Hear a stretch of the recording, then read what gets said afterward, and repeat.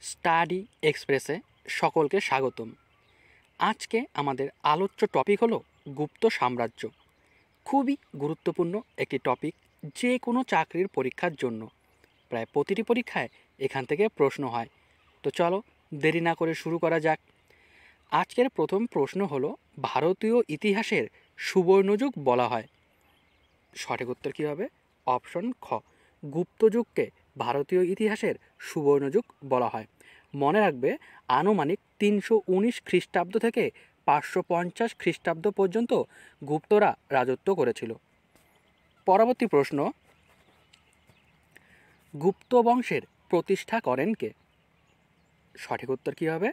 Option ঘ, শ্রীগুপ্ত গুপ্ত বংশের প্রতিষ্ঠা করেন। তিন নম্বর প্রশ্ন, শ্রীগুপ্ত তথা গুপ্তরা কোন বংশের সামন্ত ছিলেন? সঠিক উত্তর কী হবে? অপশন গ। কুষাণ বংশের সামন্ত ছিলেন গুপ্তরা। পরবর্তী প্রশ্ন। গুপ্ত বংশের প্রকৃত প্রতিষ্ঠাতা ছিলেন কে? সঠিক উত্তর কী হবে? অপশন ক। প্রথম চন্দ্রগুপ্ত ছিলেন গুপ্ত বংশের প্রকৃত প্রতিষ্ঠাতা। মনে রাখবে, গুপ্ত বংশের প্রতিষ্ঠাতা বললে হবে শ্রীগুপ্ত। কিন্তু যদি বলে প্রকৃত প্রতিষ্ঠাতা, তখন হবে প্রথম চন্দ্রগুপ্ত। পাঁচ নম্বর প্রশ্ন, মহারাজা ধীরাজ উপাধি গ্রহণ করেছিলেন কে? সঠিক উত্তর কী হবে? অপশন ক। প্রথম চন্দ্রগুপ্ত মহারাজা ধীরাজ উপাধি গ্রহণ করেছিল। পরবর্তী প্রশ্ন, কোন গুপ্ত সম্রাট গুপ্তাব্দ চালু করেছিল? সঠিক উত্তর কী হবে? অপশন গ। প্রথম চন্দ্রগুপ্ত গুপ্তাব্দ চালু করেছিল। সাত নম্বর প্রশ্ন,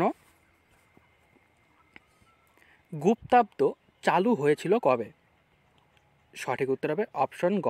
আনুমানিক তিনশো উনিশ থেকে তিনশো কুড়ি খ্রিস্টাব্দের মধ্যে গুপ্তাব্দ চালু হয়েছিল। কোনো কোনো বইয়ে তোমরা তিনশো উনিশ পাবে, আবার কিছু কিছু বইয়ে তিনশো কুড়ি পাবে। তাই এখানে তিনশো উনিশ, তিনশো কুড়ি দুটোই মনে রাখবে।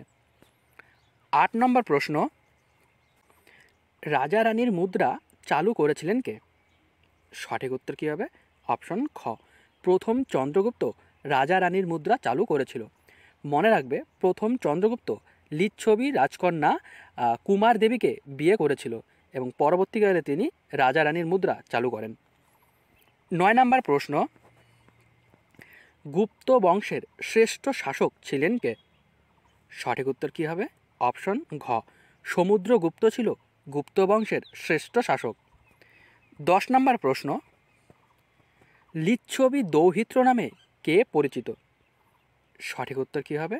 অপশন খ, সমুদ্রগুপ্ত লিচ্ছবি দৌহিত্র নামে পরিচিত। মনে রাখবে, সমুদ্রগুপ্তের মামা বাড়ি, অর্থাৎ সমুদ্রগুপ্তের মায়ের বাড়ি ছিল লিচ্ছবিতে। এই কারণে সমুদ্রগুপ্তকে লিচ্ছবি দৌহিত্র বলা হয়। আর এই দৌহিত্র কথার অর্থ কি? নাতি। অর্থাৎ সমুদ্রগুপ্ত লিচ্ছবি রাজ্যের নাতি ছিল। পরবর্তী প্রশ্ন, ভারতের নেপোলিয়ন বলা হয় কাকে?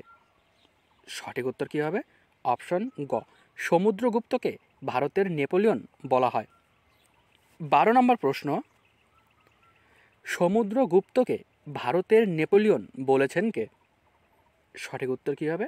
অপশন ক, ভিনসেন্ট স্মিথ সমুদ্রগুপ্তকে ভারতীয় নেপোলিয়ন বলে আখ্যা দিয়েছেন। পরবর্তী প্রশ্ন, সমুদ্রগুপ্তের সভাকবি ছিলেন কে? সঠিক উত্তর কী হবে? অপশন ঘ, হরিসেন। হরিসেন ছিল সমুদ্রগুপ্তের সভাকবি। চোদ্দ নম্বর প্রশ্ন, এলাহাবাদ প্রশস্তির রচয়িতাকে সঠিক উত্তর কী হবে? অপশন ক, হরিসেন এলাহাবাদ তথা প্রয়াগরাজ প্রশস্তির রচয়িতা। পরবর্তী প্রশ্ন, কবিরাজ বা পরম ভাগবত উপাধি গ্রহণ করেছিলেন কে? সঠিক উত্তর কী হবে? অপশন গ, সমুদ্রগুপ্ত কবিরাজ, পরম ভাগবত প্রভৃতি উপাধি গ্রহণ করেছিলেন। ষোলো নম্বর প্রশ্ন, এলাহাবাদ বা প্রয়াগ প্রশস্তিতে কোন রাজার বীরত্বের কাহিনী বর্ণিত রয়েছে? সঠিক উত্তর কী হবে? অপশন খ। সমুদ্রগুপ্তের কাহিনী বর্ণিত রয়েছে। সতেরো নম্বর প্রশ্ন, বিক্রমাদিত্য উপাধি গ্রহণ করেছিলেন কে? সঠিক উত্তর কী হবে? অপশন ঘ। দ্বিতীয় চন্দ্রগুপ্ত বিক্রমাদিত্য উপাধি গ্রহণ করেছিলেন। আঠেরো নম্বর প্রশ্ন, সকারি উপাধি গ্রহণ করেছিলেন কে? সঠিক উত্তর কী হবে? অপশন ঘ। দ্বিতীয় চন্দ্রগুপ্ত সকারি উপাধি গ্রহণ করেছিলেন। মনে রাখবে, তিনি ভারত থেকে শকদের নাশ করেছিলেন। এরপরই তিনি সকারি উপাধি গ্রহণ করেন। উনিশ নম্বর প্রশ্ন। চীনা পর্যটক ফাহিয়েন কার রাজত্বকালে ভারতে আসে? সঠিক উত্তর কী হবে অপশন ক। দ্বিতীয় চন্দ্রগুপ্তের শাসনকালে চীন থেকে ফাহিয়েন ভারতবর্ষে এসেছিল। কুড়ি নম্বর প্রশ্ন। ফাহিয়েন রচিত গ্রন্থের নাম কি? সঠিক উত্তর কী হবে? অপশন খ। ফো কুয়ো কি হল? ফাহিয়েন রচিত গ্রন্থ। একুশ নম্বর প্রশ্ন। দিল্লির লৌহ স্তম্ভ স্থাপন করেছিলেন কে? সঠিক উত্তর কী হবে? অপশন ক। দ্বিতীয় চন্দ্রগুপ্ত দিল্লির মেহেরৌলিতে লৌহস্তম্ভ স্থাপন করেছিলেন। বাইশ নম্বর প্রশ্ন। কার শাসনকালে সংস্কৃত ভাষায় পারদর্শী নয়জন নবরত্ন রাজসভা অলঙ্কৃত করেছিল? সঠিক উত্তর কী হবে? অপশন গ।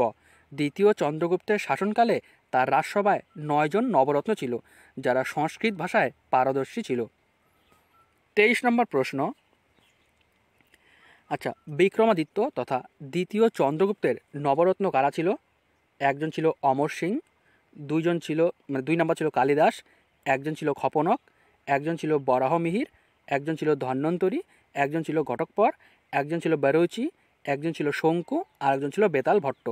এই নয়জন বিক্রমাদিত্যের রাজসভা অলঙ্কৃত করেছিল। পরবর্তী প্রশ্ন,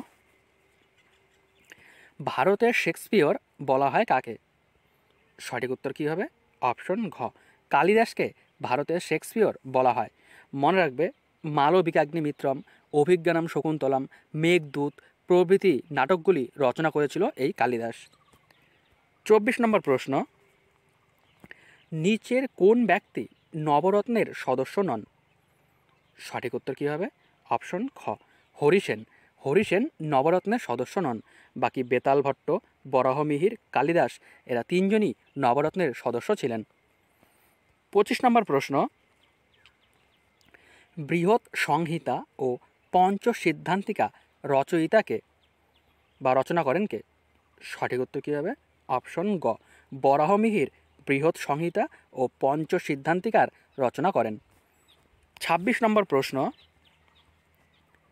গুপ্তকালে বিখ্যাত গণিতজ্ঞ ও জ্যোতির্বিজ্ঞানী ছিলেন কে? সঠিক উত্তর কী হবে? অপশন ক। আর্যভট্ট ছিল গুপ্তকালের বিখ্যাত গণিতজ্ঞ ও জ্যোতির্বিজ্ঞানী। আর এই আর্যভট্ট সম্পর্কে কিছু গুরুত্বপূর্ণ তথ্য জেনে রাখো। যে আর্যভট্টের বাড়ি হচ্ছে বিহারে। আর্যভট্ট প্রথম ধারণা দেন, আর ভারতের প্রথম কৃত্রিম উপগ্রহের নাম কি? আর্যভট্ট মনে রাখবে। গুপ্তকালে বিখ্যাত চিকিৎসক ছিলেন কে? সঠিক উত্তর কী হবে অপশন গ। সুশ্রুত ছিল গুপ্তকালের বিখ্যাত চিকিৎসক। আঠাশ নম্বর প্রশ্ন। নালন্দা বিশ্ববিদ্যালয় তৈরি করেছিল কে? সঠিক উত্তর কী হবে? অপশন ক। কুমারগুপ্ত অপশনে প্রথম কুমারগুপ্তও থাকতে পারে। মনে রাখবে, প্রথম কুমার গুপ্ত নালন্দা বিশ্ববিদ্যালয় তৈরি করেছিল। উনত্রিশ নম্বর প্রশ্ন। মহাযান শাখার অক্সফোর্ড বলা হয় কাকে? সঠিক উত্তর কী হবে? অপশন খ। নালন্দা বিশ্ববিদ্যালয়কে মহাযান শাখার অক্সফোর্ড বলা হয়। মনে রাখবে, এই নালন্দা বিশ্ববিদ্যালয় সর্বপ্রথম হোস্টেল পরিষেবা প্রদান করেছিল। আর মনে রাখবে যে শিলভদ্র এই নালন্দা বিশ্ববিদ্যালয়ের অধ্যক্ষ ছিলেন। তিরিশ নম্বর প্রশ্ন। নালন্দা বিশ্ববিদ্যালয় ধ্বংস করেছিল কে? সঠিক উত্তর কী হবে অপশন ঘ। বক্তিয়ার খলজি। কুতুবুদ্দিন আইবকের সেনাপতি ছিল এই বক্তিয়ার খলজি, যিনি নালন্দা বিশ্ববিদ্যালয় ধ্বংস করেছিলেন। একত্রিশ নম্বর প্রশ্ন। গুপ্ত বংশের শেষ শক্তিশালী রাজা ছিল কে? উত্তর কী হবে? অপশন খ। স্কন্দগুপ্ত। এখানে বলছে শেষ শক্তিশালী রাজা। উত্তর হবে স্কন্দগুপ্ত। মনে রাখবে। বত্রিশ নম্বর প্রশ্ন। কোন গুপ্ত শাসক সুদর্শন হ্রদের পুনর্নির্মাণ করেন? সঠিক উত্তর কী হবে? অপশন গ। স্কন্দগুপ্ত সুদর্শন হ্রদের পুনর্নির্মাণ করেছিলেন। তেত্রিশ নম্বর প্রশ্ন। কোন গুপ্ত শাসক হুন আক্রমণ প্রতিহিত করেছিলেন? সঠিক উত্তর কী হবে? অপশন ঘ। স্কন্দগুপ্ত হুন আক্রমণ প্রতিহত করেছিলেন। চৌত্রিশ নম্বর প্রশ্ন। কোন গুপ্ত শাসক সবচেয়ে বেশি কৃত্রিম হ্রদ তৈরি করেন? সঠিক উত্তর কী হবে? অপশন ক। স্কন্দগুপ্ত সবচেয়ে বেশি কৃত্রিম হ্রদ তৈরি করেছিল গুপ্ত শাসকদের মধ্যে। পঁয়ত্রিশ নম্বর প্রশ্ন। ভারতের রক্ষাকারী বলা হয় কাকে? সঠিক উত্তর কী হবে? অপশন খ, স্কন্দগুপ্তকে ভারতের রক্ষাকারী বলা হয়। যদি বলে কেন স্কন্দগুপ্তকে ভারতের রক্ষাকারী বলা হয়, তার সঠিক উত্তর হচ্ছে স্কন্দগুপ্ত হুন আক্রমণ প্রতিহত করেছিল। আচ্ছা যদি প্রশ্ন হয় যে স্কন্দগুপ্তকে ভারতের রক্ষাকারী বলেছিলেন কে? উত্তর হবে রমেশচন্দ্র মজুমদার, ঐতিহাসিক। ছত্রিশ নম্বর প্রশ্ন গুপ্ত বংশের শেষ শাসক ছিল কে? সঠিক উত্তর কী হবে? অপশন গ। বিষ্ণুগুপ্ত ছিল গুপ্ত বংশের শেষ শাসক। এখানে মনে রাখবে, যদি বলে শক্তিশালী শেষ শাসক, তখন হবে স্কন্দগুপ্ত। আর যদি বলে শুধু শেষ শাসক কে ছিল, তখন হবে বিষ্ণুগুপ্ত। সাঁত্রিশ নম্বর প্রশ্ন। গুপ্ত যুগে সতী প্রথা প্রচলিত ছিল, তা জানা যায় কোন শিলালেখ থেকে? সঠিক উত্তর কী হবে? অপশন ঘ। এরান অভিলেখ বা শিলালেখ থেকে আমরা জানতে পারি গুপ্ত যুগে সতী প্রথা প্রচলিত ছিল। আটত্রিশ নম্বর প্রশ্ন, গুপ্ত বংশের সরকারি ভাষা ছিল কি? সঠিক উত্তর হবে অপশন ক। সংস্কৃত ভাষা ছিল গুপ্ত বংশের সরকারি ভাষা। উনচল্লিশ নম্বর প্রশ্ন, গুপ্ত বংশের প্রতীক চিহ্ন কী ছিল? সঠিক উত্তর কী হবে? অপশন খ, গারুদা। গারুদা ছিল গুপ্ত বংশের প্রতীক চিহ্ন। চল্লিশ নম্বর প্রশ্ন, গুপ্ত যুগে সোনার মুদ্রার নাম কী ছিল? অপশন ক, দিনার ছিল গুপ্ত যুগে সোনার মুদ্রার নাম। একচল্লিশ নম্বর প্রশ্ন, ভারতে সবচেয়ে বেশি সোনার মুদ্রা চালু করে কোন বংশ? সঠিক উত্তর কী হবে? অপশন গ, গুপ্ত বংশ ভারতে সবচেয়ে বেশি সোনার মুদ্রা চালু করে। যদি প্রশ্ন হয়, ভারতের সর্বপ্রথম সোনার মুদ্রা চালু করে কারা? উত্তর হবে ইন্দ্র গ্রিকরা। আর যদি প্রশ্ন হয়, ভারতে সর্বপ্রথম শুদ্ধ সোনার মুদ্রা চালু করে কারা? তখন তো হবে কুষাণরা। মনে রাখবে। পরবর্তী প্রশ্ন, গুপ্তদের দ্বারা জারি করা রৌপ্য মুদ্রার নাম কী ছিল? অর্থাৎ রূপার মুদ্রার নাম কী ছিল? সঠিক উত্তর কী হবে? অপশন ঘ। রূপক ছিল গুপ্তকালে জারি করা রূপার মুদ্রার নাম। তেতাল্লিশ নম্বর প্রশ্ন। মহারাষ্ট্রে অজন্তা গুহা নির্মাণ করা হয় কোন শাসনকালে? সঠিক উত্তর কী হবে? অপশন ঘ। গুপ্ত শাসনকালে মহারাষ্ট্রের অজন্তা গুহা নির্মাণ করা হয়েছিল। চুয়াল্লিশ নম্বর প্রশ্ন। গুপ্তকালে জমি বিক্রির বিবরণ কি থেকে জানা যায়? সঠিক উত্তর কী হবে? অপশন ক। দামোদরপুর কপার প্লেট থেকে গুপ্তকালে যে জমি বিক্রি করা হতো তার বিবরণ জানা যায়। পরবর্তী প্রশ্ন, গুপ্ত যুগে সর্বপ্রথম রূপার মুদ্রা চালু করেন কারা বা কে? সঠিক উত্তর কী হবে? অপশন খ। দ্বিতীয় চন্দ্রগুপ্ত ছিল গুপ্ত বংশের প্রথম শাসক, যিনি সর্বপ্রথম রূপার মুদ্রা চালু করেছিল। ছেচল্লিশ নম্বর প্রশ্ন, সতী প্রথা, বাল্যবিবাহ, পর্দা প্রথা বেশ্যাবৃত্তি জাতিভেদ, প্রভৃতি প্রচুর পরিমাণে প্রচলিত ছিল কোন শাসনকালে? সঠিক উত্তর কী হবে? অপশন ঘ। গুপ্ত শাসনকালে এই সব মানে রীতিরেওয়াজ প্রচুর পরিমাণে প্রচলিত ছিল। সাতচল্লিশ নম্বর প্রশ্ন। শাসনকাল অনুযায়ী পর্যায়ক্রমে সাজাও। কি বলছে? কতে বলছে প্রথম চন্দ্রগুপ্ত, দ্বিতীয় চন্দ্রগুপ্ত, সমুদ্রগুপ্ত, স্কন্দগুপ্ত। খতে বলছে প্রথম চন্দ্রগুপ্ত, কুমারগুপ্ত, সমুদ্রগুপ্ত না দ্বিতীয় চন্দ্রগুপ্ত? গতে বলছে সমুদ্রগুপ্ত, প্রথম চন্দ্রগুপ্ত, দ্বিতীয় চন্দ্রগুপ্ত না কুমারগুপ্ত?